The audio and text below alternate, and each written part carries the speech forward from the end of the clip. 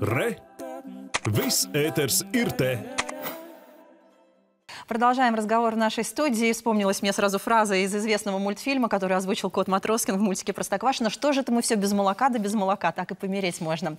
Председатель правления Латвии Спенс Анита Скудра сегодня у нас в гостях. Э, обсуждаем э, молочную тему. Телефоны прямого эфира 67200-232. Мы очень ждем ваших звонков, так что если вам есть что сказать, то, пожалуйста, звоните.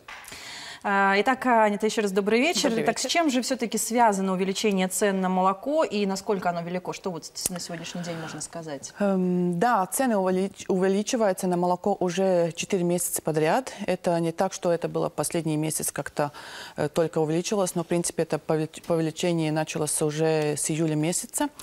Э, Есть один пункт, что на, в мировом рынке немножко повысились цены на порошок и на другие эти индустриальные продукты, которые как основном э, показывают цены. Но э, надо смотреть и тот пункт, что, к сожалению, или э, крестьянам на пользу это идет. Наши рынки, прибалтийские рынки, все-таки э, лидируют э, польские э, переработчики, которые э, покупают здесь молоко. И просто началась, как сказать, э, как-то борьба за молоко, за, за производителя. И, в принципе, это основной вопрос, почему поднялись цены настолько много. Потому что цены поднимаются, но не настолько много и не настолько быстро на готовый продукт. То есть молочную отрасль из кризиса вытаскивают поляки, как это ни странно Да, звучит? э, это, скажем так, кризис э, крестьян. Но если мы смотрим наших переработчиков, которые в Прибалтике работают, никто не настолько сильный, чтобы можно было очень долго такие цены, э, скажем так, поддерживать. И это очень-очень трудная ситуация в этот момент для переработчиков. Для переработчиков трудные ситуации были эти все два года, которые тоже были очень трудные для крестьян, потому что рынок российский закрылся. И не только вопрос э, риска- э, русского рынка, это вопрос тоже насчет того, что если бы не закрылся этот рынок, все равно рубль упал настолько, что э, люди не могли бы заплатить за, за наш продукт. И поэтому в Европе вообще как таковом началось это как-то слишком много продукта было. И, все пошло вниз. И То эти- есть, если бы не было российского эмбарго, то с учетом падения рубля все равно бы мы сильно равно, потеряли. Все равно бы потеряли, да. Так что, может быть, это даже было э, лучше, чтобы это было настолько быстро, настолько так резко, чтобы э, переработчики могли начинать искать другие рынки, потому что это очень-очень трудный пункт и очень много времени требуется. Но если бы это было продолжалось, все-таки из-за рубля были бы очень большие проблемы все равно. Закупочные цены на молоко повышаются, а что касается нас, потребителей, что это для нас значит? Э, Какие продукты в цене возрастут и насколько? Ну, если мы смотрим так, насколько выросла цена на, на молоко как на сырье, то, в принципе, она выросла на 40-45%. Эм, Мы, как потребители, наверное, настолько большой, большой этот скакок не увидим. Но так как э, все уже, как я говорила, 4 месяца э, переработчики все эти расходы брали на себя, какой-то момент ты этого уже держать не можешь. И поэтому, да, э, мы, как потребители, увидим побольше цены на молочные продукты. Это неизбежно, потому что это, эти деньги уходят к крестьянам. И это всегда так связано. Это как на весах.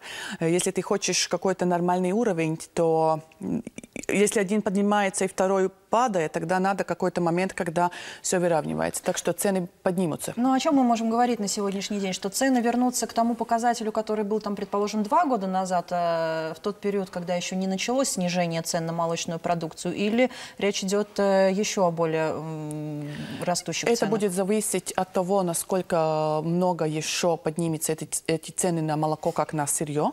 Это очень важный пункт, потому что если мы сейчас смотрим, что 30-32 евроцента за эм, литр молоко, э, который мы платим сейчас крестьяну, ну, это очень большие деньги. И если мы смотрим это на готовый продукт, то ну, как-то это должно отразиться. Если мы смотрим, например, э, на, на молочные продукты, в принципе, там от 75 до 95 процентов сырье состоит только из, мол- из, из молока. Там других, других ингредиентов нету.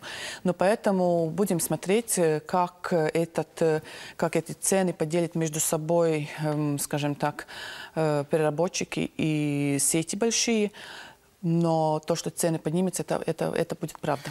Послушаем, что хочет нам сказать наш телезритель. Добрый вечер. Говорите, пожалуйста, вы в прямом эфире. Прямой эфир Нет. был недолг. Недолго. А подорожает вся молочная продукция или какие-то отдельные сегменты? Вы сказали, что есть продукты, в которых 100% молоко, но ведь есть, которые состоят не только Не из только. молока. Это, наверное, сами, как это производители, как в этом моменте это производ- переработчик будет смотреть свой портфель, потому что портфели очень разные, и будет, будут, наверное, эти э, поднятия цен э, ну, не, не, не- не сразу на все, э, весь объем, на весь портфель, но какой-то, наверное, продукт, которого больше э, поднимется, которого там меньше. Я думаю, что это будет, э, каждый бизнесмен будет смотреть, как он вообще может этот продукт произвести, потому что, да, и упаковочные материалы, и другие ингредиенты, это тоже очень, очень важный пункт. Попытка номер два. Попробуем связаться с нашим телезрителем. Добрый вечер. Говорите, пожалуйста. Алло. Здравствуйте, говорите. Uh, Man būtu izteikumi par piena iepirkumiem. Говорите, пожалуйста. Первый разговор был недолгий, но второй, впрочем, оказалось, что будет очень долгим, но оказался таким, же- таким же недолгим. Ну, возможно, будет третья попытка. Звоните нам, пожалуйста, дозванивайтесь. 67200-232. Э, Продолжим интервью. Что вообще сегодня собой представляет э, молочная отрасль, индустрия в Латвии? И вообще, сколько крупных игроков представлено на рынке сегодня? Ну, знаете, если вы так меня спрашиваете, сколько крупных игроков, это очень такой сенситивный вопрос, потому что каждый, конечно, который что-то делает, э, считает, что он во всяком случае, ну, если небольшой, то такой, которого надо очень ценить. Поэтому, в принципе, в Латвии 38 э, переработ- так- таких, как это, фабрик, да, Э, мы знаем, что мы в Прибалтике самые маленькие, скажем так, у нас объемы по переработке самые маленькие, и поэтому там и есть, где мы есть, потому что мы не можем конкурировать так много, как эти поляки в мировом рынке, если они э, участвуют в больших мировых тендерах. Конечно, тогда, если они выигрывают эти, эти объемы, если мы смотрим, что у них одна из, скажем так, один из кон- концернов, э, фабрик, э, который перерабатывает 6 э, тысяч тонн молока в день, в день. В Латвии вообще доят только 2 тысячи тонн в день, вся Латвия, да. Ну, Так- Латвия и меньше, чем а, та же Польша. Примерно в Меньше. столько же раз. Да, но, это, но близость это, это- этой страны очень-очень влияет э, на нас. И поэтому, э, к сожалению, эти два года были очень трудные, и мы пытались все э, зайти в другие рынки. Это немножко и удал- удалось. Нет так, что вообще ничего не удалось. Удалось и Да, очень вот расскажите хорошо. Да. подробнее, какие рынки альтернативные мы нашли? Эм, Мы нашли, например, наше предприятие нашло это э, Саудовская Аравия, это тоже Европа, где мы как-то заранее боялись, может быть, зайти, но это Италия, это Германия, это та же самая Греция. Э, Пытаемся в Соединенные Штаты Америки попасть, и тоже Мексика. Это был очень-очень важный пункт для нас, чтобы мы могли попасть в Мексику. Э, Сейчас э, нам первые два большие заказа ждут, когда мы, мы будем э, отправля- от- отправлять прод- продукции, потому что договора заключены. Но, в принципе, если так говорить, то два года – это как минимум, чтобы ты пошел какие-то новые рынки. И я знаю, что который будет у вас следующий вопрос насчет Китая. Я насчет Китая всегда была очень, э, ну, скажем так, не пессимистическая, но я не думаю, что Китай нас спасет. Потому что мы настолько маленькие, что мы дали же маленькую, как это село Китая не можем обеспечить. Нам надо смотреть какие-то другие страны, которые тоже богатые, которые интересны. Та же самая Мексика. Там настолько много людей, и они кушают сыр, и они понимают молочные продукты. Это не Китай, где люди не понимают, что это такое. А Саудовская Аравия понимает? Вот я хотела Понимает, да, спросить, да. насколько это вообще экзотичный Давайте, продукт? может быть, о Саудовской Аравии, о Китае, о других рынках э, поговорим чуть позже. Попытка номер три. Дорогой телезритель, соберитесь на этот раз. Мы вас верим. Э, Надеемся, что вы нам что-нибудь скажете. Добрый день. Здравствуйте, говорите, задавайте вопрос. Это было в, Сан- в Сантимах по 27 платили нам. И запчасти в 10 раз дешевле было. И солярка была дешевле. А сейчас в центах это не платят. Как это можно выдержать эту корову? Когда я ей не додал, и белок садится, и жир садится, и корова портится. Практически коровы в Латвии уничтоживают, уничтожаются.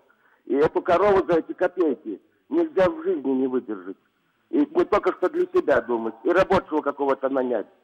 это шахматниками кроют всех коров и кое-что доют там.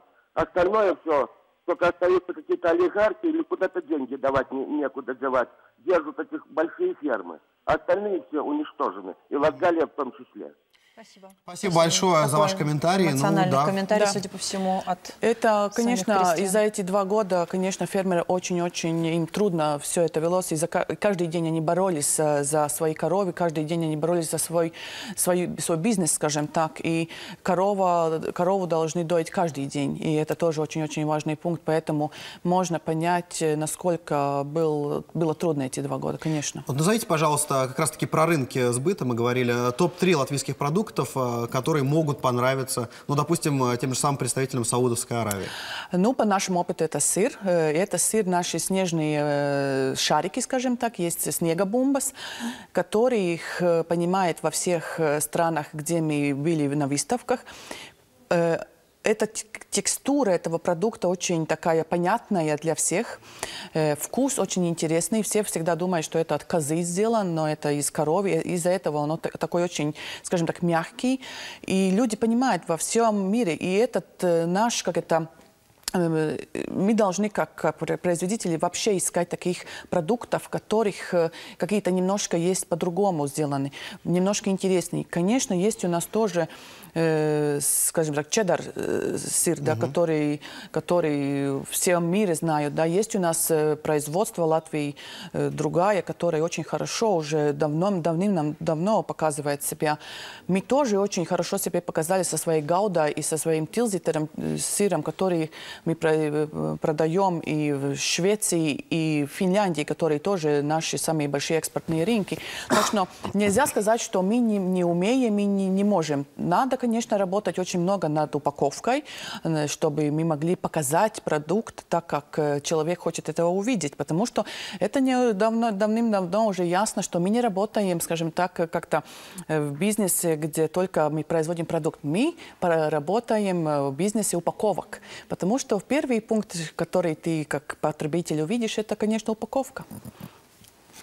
Примем еще один звонок от телезрителей. Добрый вечер. Добрый вечер.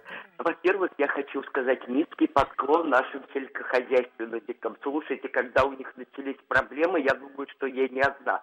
Сердце кровью обливалось, как они бедные. Это же ужас и кошмар. И дай бог, чтобы они процветали. Ничего, мы потерпим, что там копейки вы накинете, что молоко дешевле какой-то кока-колы отравы. И пока мы пьем наше молоко, будем живы, здоровы и все выдержим, все не напасти, как говорится. Спасибо вам, спасибо. Ну, спасибо. спасибо. Вот такой добрый, приятный Да, это тоже надо иногда услышать, конечно. Может быть, поговорим о том, что добавляются в молочные продукты. Как раз сейчас телезрительница затронула эту да. тему. Ну, скажем так, что добавляется? Мы производим сыр э, без всяких добавок, э, только все натуральное. Конечно, мы можем смотреть, что делается в мире, но так как потребитель становится умнее и умнее и читает, что написано, то никто не хочет, скажем так, э, портить свою репутацию поставить там что-то, о, о, о чем ты, скажем так, не можешь быть стопроцентно уверена. Но есть и хорошие добавки. Например, мы в своем молоке добавляем D-витамин, потому что в Прибалтике мы знаем, что нам настолько много не хватает солнца, что на эти два с половиной месяца, когда есть солнце, D-витамин э, нам слишком мало. И, и, в принципе, мы должны э, как это, принять его тоже весь год и с этими, ну, как это, ну, как, э, с препаратами из аптеки да. И поэтому мы, эм, скажем так, посмотрели э, вокруг и поняли, что э, молоко и витамины это очень хорошо сочетывается вместе. И почему не, по, не добавить такой хорошей добавку, скажем так, которая помогает нам. Давайте о плохих добавках э, поговорим после телефонного звонка. Примем еще один телефонный звонок. Телезритель нас дозвонился, я надеюсь. Говорите, пожалуйста. Здравствуйте. Добрый вечер. Вы знаете, я просто хотела спросить, Э, почему сейчас не видно развесного масла? В советское время было развесное масло э, магазинах, было шоколадное масло, теперь не видно ничего. Спасибо. Неужели нельзя возобновить? Спасибо, Спасибо большое. Ну, Шоколадное на рынке, масло. на рынке раз- разве нету? На рынке есть. На рынке есть. Если мы посмотрим там в центральном базаре, там есть. Но в магазинах, конечно, э, нам надо понять тоже, что если мы хотим э, продукт, который можно немножко дольше держать, э, потому что мы всегда все спешим, и нек- некогда нам смотреть там за, за, за то, что у нас там в холодильнике стоит, то всегда, если сразу же упаковано, это всегда намного герметичнее, чем когда это продукт открытый. И это тоже не секрет, что самый большой враг для любого продукта – это кислород. И поэтому, и, и, конечно, микробиология. Это еще один пункт, о чем мы не говорим очень громко, но, скажем так, молочные продукты очень-очень любят принять к себе все микробы. И поэтому, если так мы смотрим э, с- ста- со стороны потребителя, это намного лучше, это если этот продукт фасован сразу же. И насчет э, масла то же самое. Еще один звонок от наших телезрителей. Добрый вечер. Говорите, Алло. пожалуйста, мы вас слушаем. Eh, Labvakar!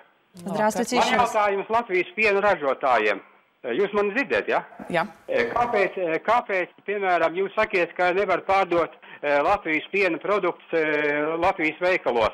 Bet kā, man jautājums tāds, kāpēc Latvijas veikali pārpildīti ar, ar Lietuvas piena produktiem? Un pie kam ņemiet, ņemiet piemēru no Lietuvas ražotājiem? Viņi labā nozīmē ļoti viltīgi. Viņi uz iepakojumiem raksta tikai latviešu valodā. Tur neviena vārda nav svešvalodā. Un produkcijai, un produkcija izvēlās ļoti latviešu nosaukumus. Tas pilnīgi maldina pircējus, Latvijas pircējus. Un man vēl viens jautājums par spiestu. Eh, Kāpēc eh, Latvijas piena ražotāji ne, neražo sviestu no skāpkrējuma? Paldies! Спасибо. Да, действительно, эти литовские производители Да. очень хотят быть похожи на латвийских производителей. И порой не отличишь Это даже. правда, и многие даже не понимают, что они покупают литовские продукции, потому что действительно там специально сделан маркетинг для латвийского потребителя.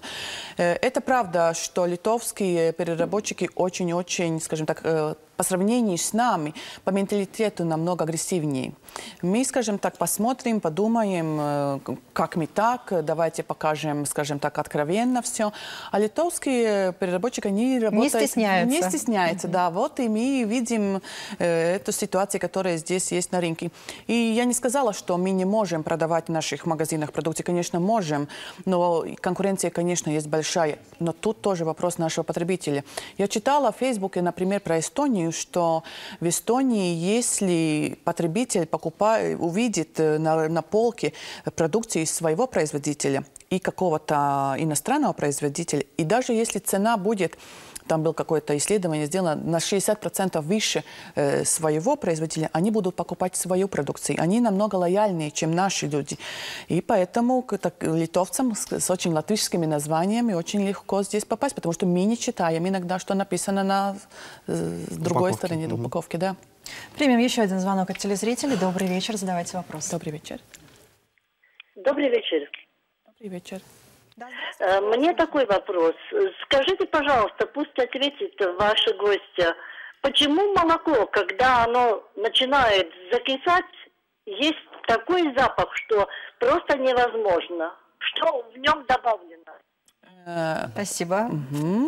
Кислое молоко неприятно пахнет, это факт. Это факт, это, наверное, тоже вопрос про микробиологию. То, что я сказала, что это очень важно понять, э, где хранился этот продукт. И, во-первых, очень важно смотреть, где мы покупали этот продукт. И если там правильная температура, потому что э, молоко любит температуру, температуру плюс 2, плюс 6. И плюс 7, и плюс 8 это уже не та температура, которую этот продукт любит. И, конечно, если эта упаковка, например, была открытой, какие-то дни постояла, э, то может быть, что микробиология уже испортилась. Такое может быть. Но молоко скисло, это понятно и естественно. а Это почему оно естественно. горьким становится?